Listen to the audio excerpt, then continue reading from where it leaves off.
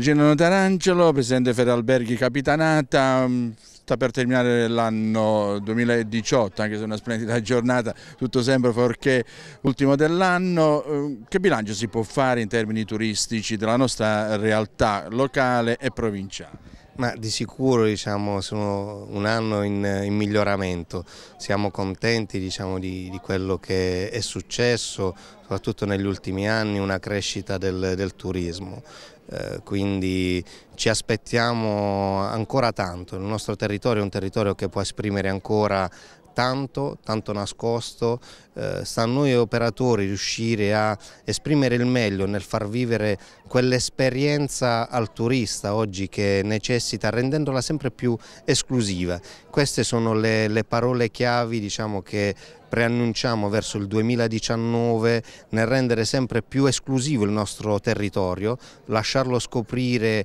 e farlo vivere ai turisti che ci vengono a visitare. Perfettamente ragione, Vieste fa tante presenze, parliamo del caso di Vieste, però sono in tanti che ancora non conoscono il Gargano. Assolutamente no, abbiamo davvero tante, tutta la capitanata ha molto da, da, far scoprire ai suoi ospiti, siamo ricchissimi, abbiamo veramente la montagna che scende al mare, un territorio così ricco davvero è difficile trovarlo in Italia, pertanto dobbiamo specializzarci sempre di più su quelli che sono i nostri attrattori culturali, ehm, naturalistici e renderli sempre più esclusivi, sono i nostri tesori, non vanno sprecati ma valorizzati, a ognuno rendere questo, questo farlo, farlo, scoprire questo, questo tesoro e renderlo unico per loro. Il, probabilmente una mano potrà darla anche il governo, il Presidente Conte eh, qualche giorno fa è sceso a Foggia per questo patto, fiducioso eh, come eh, Presidente di Federalberghi? Siamo sempre fiduciosi nei confronti della politica. A volte purtroppo siamo ancora in attesa di, di risposte, ma la speranza è l'ultima a morire. 2019, come si prospetta?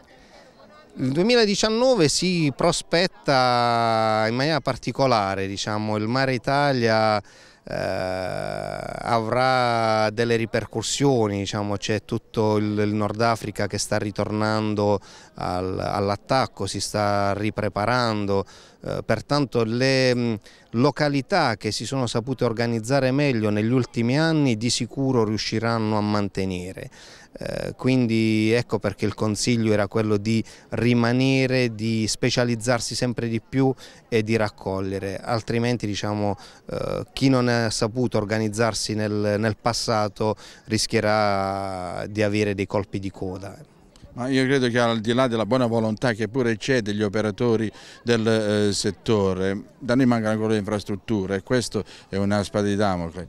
Sicuramente sì, è inconcepibile che il nostro territorio, la Capitanata, rappresenti il 52% dei posti letto dell'intera regione Puglia ed è praticamente abbandonata senza aeroporto, senza autostrade, a parte il casello di Foma, tutto il Gargano, che parliamo di San Giovanni, Vieste, Peschi, Cirori di Gargano, quattro comuni che hanno il 52% dei posti letto dell'intera regione Puglia, sono senza infrastrutture. Questo è inaccettabile ed è inconcepibile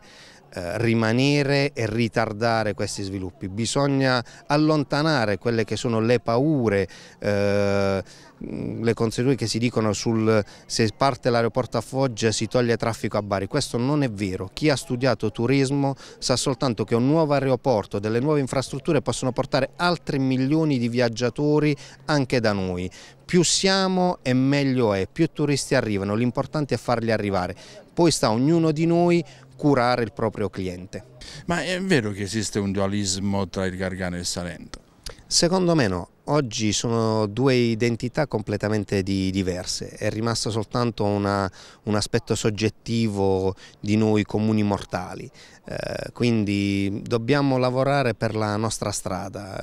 e far emergere quelle che sono le proprie identità e valorizzarle.